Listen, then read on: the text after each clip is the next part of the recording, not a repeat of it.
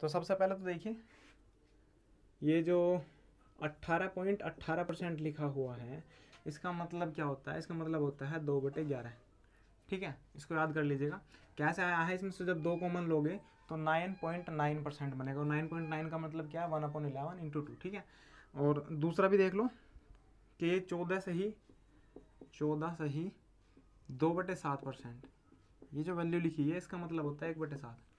ठीक है? इसका एक बटे सात होता है। अब क्वेश्चन पा जाओ। जब इसका मतलब दो बटे ग्यारह है तो क्वेश्चन में क्या बोल रहा है कि गीता अपनी आय का अट्ठारह पॉइंट अट्ठारह परसेंट बचाती है। मतलब वो अपनी इनकम अगर उसकी इनकम ग्यारह है तो उसमें से दो बचत कर रही है। तो अब देखिए, अगर मैं इनकम एक्सपेंडिचर और सेविंग लिखूँ, जो कल कल बताया था उसी तरह से, अगर उनकी इनकम ग्यारह है तो वो जो बचा रही है, वो दो बचा रही है। तो खर्च कितना कर रही होगी वो? नो कर रही होगी, ठीक है? सही है भाई? अब एक बात बताओ यहाँ से। अब हमें क्या करना है? ये चौदह से ही दो बटे सात जो वृद्धि हुई है, ये व्यय में हुई है एक्सपेंडिचर में, ठीक है? अब एक्सपेंडिचर में एक बटे सात की वृद्धि हुई है तो यहाँ पर नौ का एक बटे सात निकालना मुश्किल है पॉइंट में आएगा ना, ठीक है? तो सभी तरफ़ सात की मल्टीप्लाई कर दो, ठीक है? पहला काम तो हमारा ये है। अब इसका एक बटे सात निकाल लोगे तो नौ आ जाएगा, आसानी से हो जाएगा, ठीक है? अब दूसरा बात क्या है कि आय में जो है बीस परसेंट वृद्धि हो रही है। अब इनकम पे फोकस करो, इसकी बीस परसेंट वृद्धि निकालनी है तो बीस परसेंट का मतलब एक बटे पाँच, इसका एक बटे पाँच निकालना होगा तो पॉइंट में जाएगा अभी तो भाई पाँच की और गुना कर लो। ठीक है? तो सभी में पाँच की गुना कर लिया अब इसे ऐसे रहने तो अब देखिए क्या करते हैं। इनकम में बीस परसेंट की वृद्धि करनी है तो बीस परसेंट का मतलब एक बटे पाँच, ठीक है? इसका एक बटे पाँच कितना होगा? ग्यारह सत्तर सतहत्तर, ठीक है? तो इनकम कितनी बढ़ी? सतहत्तर बढ़ गई। अब चौदह से ही दो बटे सात परसेंट बढ़ रहा है हमारा एक्सपेंडिचर, व्यय। तो चौदह से एक, दो बटे सात का मतलब एक बटे सात, इसका एक बटे सात कितना होगा? नौ पंजे पैंतालीस। ठीक है? तो जो हमारा खर्च है वो पैंतालीस परसेंट बढ़ गया। अब इनकम सतहत्तर बढ़ रही है, एक्सपेंडिचर हमारा पैंतालीस बढ़ गया तो सेविंग कितनी बड़ी होगी बताओ? इसमें से इसे माइनस कर दो तो कितना हुआ? बत्तीस। ठीक है? तो ये जो बढ़ा ना हमारा, बत्तीस बढ़ गया। क्या? सेविंग जो है हमारी बत्तीस बढ़ गई। और क्वेश्चन में दिया हुआ है इस बत्तीस की value ninety six thousand ninety hundred. ठीक है भाई, अब क्या करना है? एक की वैल्यू निकाल लो, बत्तीस छाण में, एक की वैल्यू, एक रेशो की वैल्यू कितनी हुई? तीन सौ रुपये अब हमें करना क्या है? उसने पूछा है कि उसकी प्रारंभिक आय बताओ। अब प्रारंभिक आय तो इतनी थी ठीक है? इसकी कैलकुलेशन कर लो, सात पंजे पैंतीस पैंतीस गुना ग्यारह कितना होगा? ग्यारह पंजे पचपन, पाँच, ग्यारह तैंतीस और एक अड़तीस, तीन सौ पिचासी। तो हमें तीन सौ पिचासी रेशो की वैल्यू निकालनी है। अब तीन सौ पिचासी रेशो की वैल्यू निकालनी है तो कितनी होगी? दो ज़ीरो तो ये तीन की गुना कर लो, तीन पंजे पंद्रह और एक, आठ थे चौबीस और एक पच्चीस, दो और तीन क्या, नौ और दो, ग्यारह। ठीक है? तो वास्तव में जो प्रारंभिक इनकम थी ना वो, प्रारंभिक आय जो थी, वो हमारी यही थी। अगले क्वेश्चन में क्या कह रहा है? अगले क्वेश्चन में कह रहा है कि एक व्यक्ति की मासिक आय आठ हज़ार पिछहत्तर सौ रुपये ठीक है? आठ हज़ार नहीं सतासी हज़ार पाँच सौ रुपये ठीक है? ये क्या है? ये इनकम है और एक मंथ की इनकम है, ठीक है? और खर्च दे रखा है, एक मंथ का एक्सपेंडिचर दे रखा है कितना है? पचास हज़ार रुपये अब एक बात बताओ, जब इनकम इतनी है एक्सपेंडिचर इतना है तो अगर मैं रेशो निकालना चाहूँ आई और आई का आई और एक्सपेंडिचर का मतलब इनकम और एक्सपेंडिचर का रेशो निकाल लेंगे तो दो ज़ीरो कैंसिल होगी, कितना हुआ? आठ सौ पिछहत्तर अनुपात पाँच सौ, ठीक है? अब दोनों को कैंसिल करो, एक सौ पच्चीस से कटेंगे दोनों, एक सौ पच्चीस सत्ते और एक सौ पच्चीस ठीक है? सही है भाई? तो इनकम सात आ गई और एक्सपेंडिचर चार आ गया तो भाई सेविंग कितना होगा? अगर मैं बोल इनकम बराबर सेविंग प्लस एक्सपेंडिचर तो इस हिसाब से इनकम कितनी बन रही है? इनकम बन रही है सात। सेविंग कितनी? देखो, जब एक्सपेंडिचर चार है तो सेविंग कितनी रहेगी? तीन। ठीक है? अब क्वेश्चन में आगे बढ़ लो। आगे बढ़ना है तो क्या करना है? अब वो बोल रहा है कि अगले वर्ष उसकी आय में तैंतीस परसेंट की वृद्धि हो जाती है। अब एक काम करो यहाँ से। कि एलिगेशन से कर लो। इससे भी हो जाएगा, तैंतीस परसेंट ये बढ़ाना पड़ेगा, दो ज़ीरो चिपकानी पड़ेगी इसमें साथ में, ठीक है? एलिगेशन से करोगे, हमें पता है ना इनकम एक्सपेंडिचर और सेविंग का रेशो हमें पता है कितना है, चार अनुपात तीन, ठीक है? अब इनकम तैंतीस परसेंट बढ़ गई है तो तैंतीस परसेंट यहाँ पर बढ़ा दो प्लस में, ठीक है? और क्या है? खर्च अट्ठारह परसेंट बढ़ रहा है, उसका एक्सपेंडिचर अट्ठारह परसेंट बढ़ चुका है तो हमें बताना सेविंग कितना हो गया। ठीक है भाई? भाई, पहले हमने रेशो निकाल लिया सेविंग का और एक्सपेंडिचर का, फिर हमने एलिगेशन मेथड लगा दिया जो कल बताया था। अब बताओ, इसमें से कितना कितना होगा? पंद्रह होगा। तैंतीस में से जब अट्ठारह गया तो पंद्रह, एक की वैल्यू तीन पंजे पंद्रह, पाँच चौक बीस, चार की वैल्यू होगी बीस। तो जब तैंतीस से छोटा अट्ठारह है तो ये वाली वैल्यू तैंतीस से बड़ी होगी, बड़ी कब मिलेगी? जब तैंतीस में बीस जोड़ोगे तो ये कितना मिला? तैंतीस प्लस बीस बराबर तिरपन परसेंट। तो जो सेविंग जो है ना, वो तिरपन परसेंट बढ़ गई, ठीक है? समझ में आया क्वेश्चन अब क्या है? दोबारा समझ लो इस क्वेश्चन को। इनकम दी थी एक महीने की, एक महीने का एक्सपेंडिचर खर्च दिया था। दोनों का हमने लिया रेशो ठीक है? जब रेशो लेंगे तो सात चार का आया। मतलब क्या? इनकम सात होगी और एक्सपेंडिचर चार हो गया। तो सेविंग कितनी रही होगी? तीन। तो एक्सपेंडिचर और सेविंग में रेशो मिल गया हमें चार और तीन का, ठीक है? चार और तीन का। अब उसने बोल रहा है कि इनकम तैंतीस परसेंट बढ़ रही है और एक्सपेंडिचर अट्ठारह परसेंट बढ़ रहा है तो सेविंग बताओ क्या चेंज होगा। ठीक है? अब एलिगेशन मेथड कल बताया था, तैंतीस में से अट्ठारह के पंद्रह, तीन की वैल्यू पंद्रह तो चार की वैल्यू बीस। अब ये वैल्यू छोटी है, इससे अट्ठारह छोटी है तैंतीस से तो ये वाली बड़ी होगी, बड़ी कम मिलेगी? तैंतीस में बीस जोड़ोगे, ठीक है? तो तिरपन परसेंट इसका। चलिए नेक्स्ट क्वेश्चन देखते हैं। नेक्स्ट क्वेश्चन में क्या कह रहा है कि एक्स माइनस वाई का साठ परसेंट बराबर फोर्टी फाइव परसेंट किसका? एक्स प्लस वाई का। ठीक है, ये दे रखा है। अब सबसे पहले एक्स और वाई में रिलेशन तो निकाल लो यहाँ से। देखिए, ये जो का है, इसका मतलब मल्टीप्लाई तो है। ठीक है, और यहाँ पे बीच में मल्टीप्लाई है। तो परसेंटेज से परसेंटेज काट लो और साठ और पंद्रह को जब पैंतालीस को काटोगे तो पंद्रह से पंद्रह चौका साठ, पंद्रह ती पैंतालीस, ठीक है?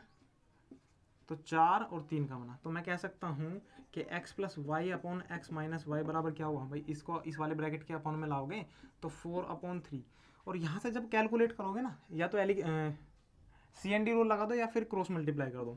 तो क्या मिलेगा? सी एन डी रूल लगाओगे तो एक्स अपॉन वाई मिलेगा, सात अपॉन वन ठीक है? तो रेशो पता चल गया यहाँ से? एक्स और वाई का रेशो पता चल गया? कि एक्स और वाई का रेशो क्या है? सात अनुपात एक। अब एक बात बताओ यहाँ से, अगर वाई दे रखा है वाई बराबर एक्स का के परसेंट तो वाई जो है वो एक्स का कितने परसेंट है? वाई एक जो है वो एक्स का कितने परसेंट है?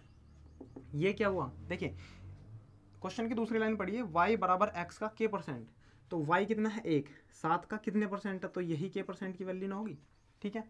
ठीक है भाई? तो हमारा जो के की वैल्यू है वो ये आई। के परसेंट है ना? वो यही तो है वाई जो है एक्स का कितने परसेंट है? तो के की वैल्यू ये मिल गई। अब यहीं पे रहने दो, इसे के की वैल्यू आगे क्वेश्चन में क्या पूछा उसने? के का किस परसेंट बताना है? ठीक है? तो के कितना है? के कितना है? सौ बटे सात. तो सौ बटे सात का कितना परसेंट? इक्कीस परसेंट। और जैसे ही हम इक्कीस परसेंट निकाल लेंगे, सौ से सौ कैंसिल हो गए और सात से कटे, इक्कीस कटेगा सात से तीन बार। आंसर क्या मिला सवाल का? तीन। ठीक है, दोबारा समझ लो। पहले हमने क्या किया? रेशो निकाला एक्स और वाई का। एक्स प्लस वाई यहीं पे रहने दिया एक्स माइनस वाई इसके अपोन में लेके चले गए, ठीक है? यहाँ पे चार बचा, यहाँ पे तीन। चार बटे तीन। यहाँ पे या तो क्रॉस मल्टीप्लाई कर लो या फिर लगा दो सी एन डी रूल ठीक है? सी एन डी रूल लगाओगे तो एक्स अपॉन वाई मिलेगा। ऊपर जोड़ोगे सात और अपॉन में घटाओगे एक, ठीक है? अब क्रॉस मल्टीप्लाई क्रॉस मल्टीप्लाई की ज़रूरत नहीं है। अब तो हमें निकालना है यहाँ का रेशो एक्स और वाई का रेशो निकाल लोगे, सात और एक रेशो निकल गया, ठीक है? उसने कहा है कि के जो है ना, वो क्या है? के की वैल्यू क्या बोल रखी है कि वाई एक्स का कितने परसेंट है? अब वाई एक्स का जितने भी परसेंट है, वही के हैं। तो हमने निकाला वाई एक एक्स का कितने परसेंट है? तो one upon seven into hundred ठीक है? और अब वो पूछ रहा है कि के का इक्कीस परसेंट बताओ। तो भाई के का इक्कीस परसेंट निकाला हमने, तीन आ गया। ठीक है? यहीं पे क्वेश्चन का आंसर है। चलिए, अगला क्वेश्चन पढ़ते हैं। नेक्स्ट क्वेश्चन क्या कहता है कि शहर बी की जनसंख्या, शहर ए की जनसंख्या से छप्पन पॉइंट पच्चीस अधिक है। तो सबसे पहले ए और बी की जनसंख्या में रिलेशन ही निकाल लो भाई। ये छप्पन पॉइंट पच्चीस परसेंट का मतलब क्या होगा? बताओ, छप्पन परसेंट इसको हम लिख सकते हैं पचास प्लस छः पॉइंट दो पाँच। और इस पचास को लिख सकते हैं। देखिए, अभी परसेंटेज में है दोनों तो पचास को रेशो में कन्वर्ट करोगे, एक बटे दो, ठीक है? और छः पॉइंट पच्चीस को कन्वर्ट करोगे तो ये बनेगा एक बटे सोलह, ठीक है? और जब इन दोनों को सोल्व करोगे एल्शियम लेने के बाद तो आठ और एक नौ नौ बटे सोलह, ठीक है? तो इसी तरह से सोल्व करना है। अब देखिए, छप्पन पॉइंट पच्चीस का मतलब नौ बटे सोलह हो गया, ठीक है? ये याद रखना है। अब क्वेश्चन पाजा उसने बोला है कि बी की जनसंख्या ए की जनसंख्या से छप्पन पॉइंट पच्चीस परसेंट अधिक है, ठीक है? ए की जनसंख्या से। तो अगर हम जनसंख्या की बात करें, ए और बी की जनसंख्या की बात करें तो भाई ए की जनसंख्या से बी की जनसंख्या अधिक है। कितनी है? अगर ए की जनसंख्या सोलह है तो बी की जनसंख्या सोलह से नौ अधिक है मतलब पच्चीस हो गई। ठीक है? अब क्या कह रहा है कि यदि ए की जनसंख्या में प्रतिवर्ष एक्स परसेंट की वृद्धि हो रही है और बी की जनसंख्या में प्रतिवर्ष एक्स पर उतनी ही परसेंट की कमी हो रही है तो दो वर्ष बाद जनसंख्या बराबर हो जाती है। मतलब इसमें एक्स परसेंट की दो बार वृद्धि हुई है और इसमें एक्स परसेंट की दो बार कमी हुई है और दो साल बाद जनसंख्या बराबर हो गई है। ठीक ठीक है भाई? तो अब यहाँ पे देख लो इस क्वेश्चन को, क्या करेंगे? एक्स परसेंट की वृद्धि हो रही है तो हम ये नहीं कह सकते, भाई देखो, अगर मैं कह रहा हूँ कि सौ था, सौ एक वैल्यू है और इसमें मैं पाँच परसेंट की वृद्धि कर रहा हूँ तो क्या ये एक सौ पाँच ना हो गया? ठीक है, एक सौ पाँच हो गया ना? तो मैं कह सकता हूँ कि सौ से एक सौ पाँच जाने के लिए क्या किया मैंने? एक सौ पाँच बटे यही तो निकालना है इसका। सौ का एक सौ पाँच बटे सौ निकाल लोगे, एक सौ पाँच परसेंट निकाल लोगे, तभी तो एक सौ पाँच परसेंट निकलेगा। ठीक है? भाई सौ का एक सौ पाँच परसेंट निकाल लोगे, तभी तो एक सौ पाँच निकलेगा। तो मैं वही कहना चाह रहा हूँ कि इसकी जो सोलह है, उसको एक्स बार एक्स परसेंट दो बार बढ़ाया है। तो मैं कह सकता हूँ कि सोलह को हमने बढ़ाया है सौ हंड्रेड प्लस एक्स और इसका स्क्वायर। दो बार गुना होगी ना? ये परसेंटेज में हंड्रेड प्लस एक्स और ये बराबर हो जाएगा पच्चीस गुना। कितना? पच्चीस गुना हंड्रेड। देखिए, जितना यहाँ पे एक्स परसेंट बढ़ा रहे हैं, हम उतना ही दो बार घटा रहे हैं। क्वेश्चन में बोल रहा है कि एक्स परसेंट ए की जनसंख्या जो है, वो एक्स परसेंट दो वर्ष बढ़ी है और बी की जनसंख्या एक्स परसेंट दो बार घटी है। तो हमने एक्स परसेंट बढ़ा दिया और यहाँ पे एक्स परसेंट घटा दिया और दोनों बराबर कर लिया, ठीक है? जब दोनों का स्क्वायर रूट करोगे स्क्वायर रूट दोनों तरफ़ का करोगे तो यहाँ पे मिलेगा hundred plus X upon hundred minus X ठीक है? ये अपॉन में आ गया। और जब स्क्वायर रूट करोगे तो यहाँ पाँच बनेगा और इस सोलह का बन गया चार ठीक है? यहाँ पे एक बार सी एन डी रूल लगा दो। सी एन डी रूल लगाओगे तो क्या बनेगा? Hundred upon X is equals to nine upon one ठीक है? और एक्स की वैल्यू कितनी आ गई भाई? एक्स की वैल्यू आ गई हंड्रेड अपॉन नाइन और तो ग्यारह से एक बटे नौ लिख लो या फिर लिख लो ग्यारह पॉइंट ग्यारह ये भी ठीक है। तो ऑप्शन नंबर बीस का सही उत्तर है ठीक है? चलिए भाई नेक्स्ट क्वेश्चन देखते हैं। 140 प्रश्नों की वाली एक परीक्षा में एक अभ्यर्थी ने 80 प्रश्नों में से 70 परसेंट का सही उत्तर दे दिया ठीक है? हम्म। और परीक्षा में 60 परसेंट अंक प्राप्त करना ज़रूरी है पास होने के लिए। तो शेष प्रश्नों में से कितने सही उत्तर देने होंगे उसे? सही है? तो एक बात बताओ 140 टोटल थे। देखो दो पार्ट में है ना पहला पार्ट पार्ट एक और पार्ट दो। पार्ट एक में उसने अस्सी किए हैं तो दूसरे पार्ट में कितने हुए हैं? कितने किए होंगे? भाई, टोटल 140 है ना? तो 80 इधर किए होंगे तो दूसरे पार्ट में 60 किए होंगे। और 80 और 60 का रेशो अगर लेंगे 20 चौक 80 और 20 दिया 60 ठीक है? अब उसने पहले पार्ट में जो है 80 जो क्वेश्चन किए थे, उसमें सात सत्तर परसेंट सही कर दिए। तो इसने सत्तर परसेंट सही कर दिए। और ओवरऑल उसे करने हैं साठ परसेंट सही। ठीक है? एलिगेशन मेथड लगा रहा हूँ इसमें। तो वो पार्ट सेकंड में कितने परसेंट सही करेगा? देखिए, सत्तर में से साठ गया, दस। तो तीन की वैल्यू दस है तो चार की वैल्यू कितनी होगी? कितनी होगी भाई? जब तीन की वैल्यू दस है तो दस बटे तीन गुना चार। चालीस बटे चार की वैल्यू होगी चालीस बटे तीन। तो जब ये वैल्यू इससे बड़ी है तो ये वैल्यू इससे छोटी होगी, और कितनी छोटी होगी कि साठ में से माइनस कर दो? साठ में से माइनस कर दो क्या? चालीस बटे तीन। ठीक है भाई? अब चालीस बटे तीन का वैल्यू कितनी होगी? चालीस बटे तीन का मतलब क्या होगा? साठ माइनस चालीस बटे तीन का मतलब तीन कम तीन तीन तीन नौ और एक बटे तीन। सही है? तो बस इसमें से माइनस करो।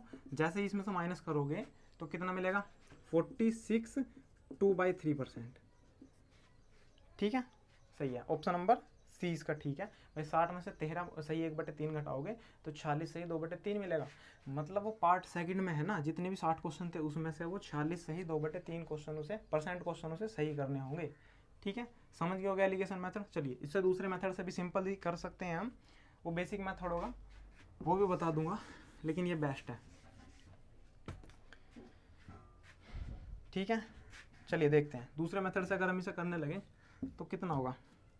अस्सी में से सत्तर परसेंट वो सही उत्तर दे रहा है, आठ सत्तर छप्पन।